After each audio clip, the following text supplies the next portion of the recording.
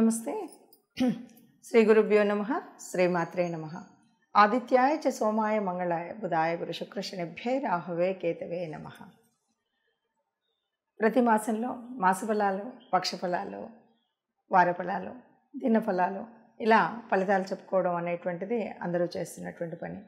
మరి ఒకే ఫలితాన్ని ఒక మాసంలో చూస్తే చాలు కదా? లేదు ఉగాదిలో చెప్పుకుంటే సంవత్సరం అంతా ఉంటుంది కదా అనేటువంటిది ఉన్నప్పటికీ ఎప్పటికప్పుడు వారం వారం మారేటువంటి గ్రహాలు కావచ్చు. లేదు మారుతున్న గ్రహాలకు అనుగుణంగా మనకు వచ్చేటువంటి లాభ నష్టాలు కావచ్చు. వీటన్నిటినీ బ్యారేజ్ వేసుకోవాలంటే తప్పనిసరిగా మనం వా వార ఫలాలు కానీ పక్ష ఫలాలు కానీ చూసుకోవడం అనేటువంటిది దానివల్ల ఉపయోగం ఉంటుంది అనేటువంటిది ఒక విషయం. దానికోసం ప్రతి మాసంలోనూ పక్ష ఫలాలు చెప్పుకుంటూ ఉంటాం. అందులో భాగంగా ఏప్రిల్ మాసంలో రెండవ పక్షానికి అంటే ఏప్రిల్ పదహారు నుండి ముప్పై వరకు గ్రహస్థితి ఎలా ఉంది? ఈ గ్రహస్థితి వల్ల మరి ఒక్కొక్క రాశి వారికి ఎలా ఉంటుంది అని చెప్పుకునే ముందు అసలు గ్రహస్థితి ఎలా ఉంది? ఎలా ఉంది అని చెప్తే మనకి మీనంలో బుధుడు శుక్రుడు రాహు ఉన్నాడు కన్యలో కేతు ఉన్నాడు మేషంలో గురువుతో పాటు మరి రవి వచ్చి చేరాడు. ఇక కుంభంలో కుజశనులు. ఇలా ఉన్నటువంటి పరిస్థితుల్లో ఇలాంటి గ్రహస్థితిలో ఒక్కొక్క రాశి వారికి ఎలా ఉంటుందో విడివిడిగా చూద్దాం. మకర రాశి. మకర రాశి వారికి ఏప్రిల్ రెండవ పక్షం అంటే పదహారు నుండి ముప్పై వరకు ఎలా ఉందో చూద్దాం. దాదాపుగా ఏళ్ళనాటి శని శనిలో చివరి భాగంలో ఉన్నటువంటి వారు మకర రాశి వారు. వీరికి కష్టం కొత్త కాదు. ఏ పని చేయాలన్నా గట్టిగా ముండి పట్టు పట్ట పట్టేటువంటి స్థితి కొత్త కాదు. మరి వీరికి ఏప్రిల్ ఒకటి నుండి పదిహేనో తారీఖు వరకు ఎలా ఉంటుందో చూద్దాం. ముందు నుండి ఉన్నటువంటి కష్టాలని కష్టాలను అలవాటు చేసుకున్నటువంటి వారే కాకుండా ఇప్పుడు కొత్తగా కష్టాలు తొలగి కొంత ఆనందం వచ్చేటువంటి పరిస్థితి అయితే కనిపిస్తుంది. ముఖ్యంగా ఆర్థిక వ్యవస్థలో. ఆర్థిక వ్యవస్థలో చక్కగా పట్టింది బంగారం అయ్యే విధంగా మీరు అనుకున్నటువంటి వృత్తి వ్యాపారాలు ఏవన్నా అవనివ్వండి చక్కగా మీకు అనేక రకాలైనటువంటి లాభాలతో ఉండే విధంగా అయితే ఉంటుంది. కొద్దిగా కార్యభార్యం అయితే ఉంటుంది. ఎందుకంటే కష్టం లేకుండా ఫలితం అనేటువంటిది ఉండడం అనేటువంటిది అంతగా ఎక్కడ చూడం కాబట్టి కొద్దిగా ఏ పని చేస్తున్నా కొద్దిగా కార్యభారం ఆ పని వల్ల కొంత అలసట ఆరోగ్యము కొద్దిగా శ్రమ పడ్డం ఇలాంటివి మాత్రం చేయాల్సి వస్తుంది. అలా చేసినప్పుడు చక్కటి ఫలితం వస్తుంది. అట్లాగే ఉద్యోగస్తులు ఎవరైనా ఇప్పటికే ఉంటే మాత్రం ప్రభుత్వ ఉద్యోగులు అవనివ్వండి ప్రభు ప్రైవేట్ కానివ్వండి. కొంత ఉన్నటువంటి చోటనే పదోన్నతి దొరి- దొరికేటువంటి పరిస్థితి ఉంది వ్యాపారస్తులకు మాత్రం చక్కటి లాభం ధనదా ధనం చాలా వృద్ధి చెందేటువంటి పరిస్థితి ఉంటుంది. కొంతమందికి ఇతర దేశాల యొక్క ప్రయాణం చేసేటువంటి పరిస్థితి కూడా ఉంటుంది. అంటే దూర ప్రయాణాలు ఎవరైతే చేస్తారో వాళ్ళకి చక్కగా కలిసి వస్తుంది అది దూర ప్రయాణం ఇక్కడే మన దేశంలో దూర ప్రయాణం అవ్వచ్చు. ఇతర దేశం దేశ దాటి వెళ్ళడానికి వెళ్ళేటువంటి పరిస్థితి అవ్వచ్చు. ఏది ఏమైనా దూర ప్రయాణాల వల్ల కొద్దిగా కలిసి వచ్చేటువంటిది ఉంటుంది. ఆరోగ్య పరిస్థితి బాగుంటుంది. అలాగే వ్యాపారంలో బాగుంటుంది. ఎన్ని విషయాల్లో కూడా చక్కగా ఉంటుంది. ఇంకొకటి అన్నిటికీ మించి నిజంగా నాకు చాలా బాగుందని ప్రతి ఒక్కరు ఈ పదిహేను రోజుల్లోనే చెప్తారు. ఎందుకు అంటే ఇప్పటి వరకు ఉన్నటువంటి కష్టాలన్నీ కూడా తగ్గుముఖం పెట్టినటువంటి పరిస్థితి కాబట్టి చాలా ఆనందదాయకంగా ఉంటుంది. ఏది ఏమన్నా సరే మళ్ళీ మర్చిపోకుండా నవగ్రహ ఆరాధన చేయడం కానీ శనిగ్రహానికి స్తోత్రం చేయడం కానీ లేదు అంటే ఎవరైనా కర్మచారులు ఉంటే వాళ్ళకి పిడిగడన్నం పెట్టడం చేయడం అనేటువంటి ముఖ్యమైన విషయాన్ని మర్చిపోకుండా ఉండాలి. ఇష్టదేవత ఆరాధన చేయడం మర్చిపోకుండా ఉండాలి. చూశారు కదా?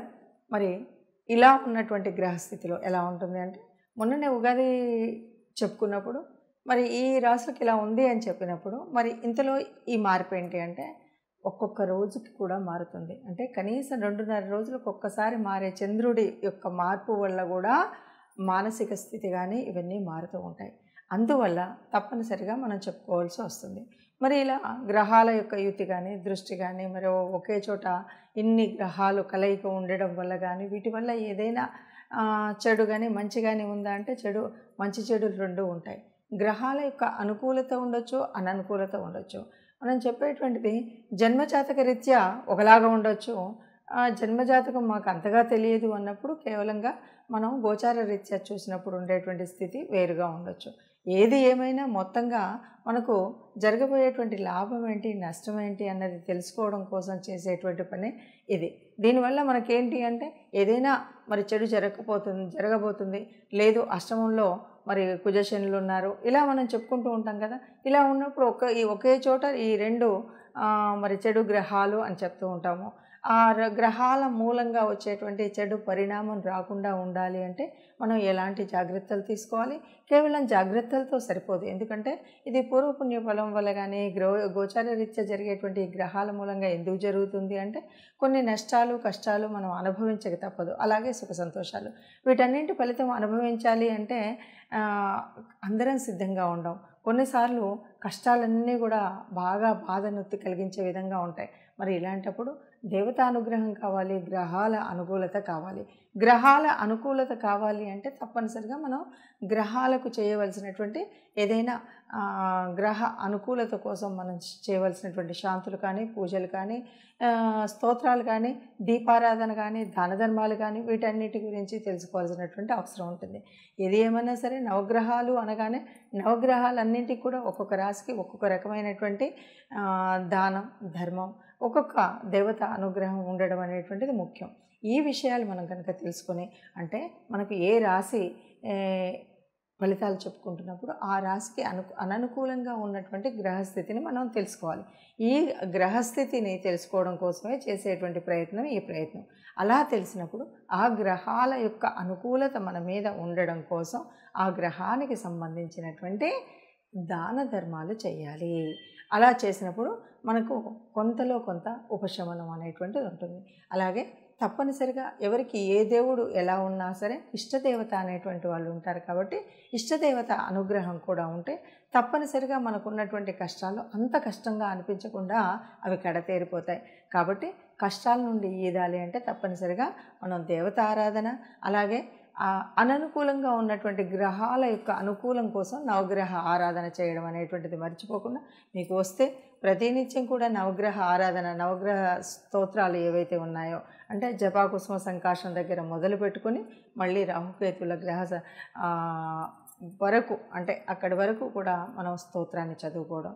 లేదు నాకు ప్రత్యేకంగా నాకు రవి గురించి అన్నీ తెలుసు అంటే ఎవరికి ఎప్పుడు ఏ గ్రహం అనుకూలించట్లేదో మనం చెప్తూ ఉన్నాం కాబట్టి ఆ గ్రహం అనుకూలించినటువంటి గ్రహానికి వీలుగా మీరు శాంతులు చేయడం కానీ ఇవేవి మాకు తెలియదండి.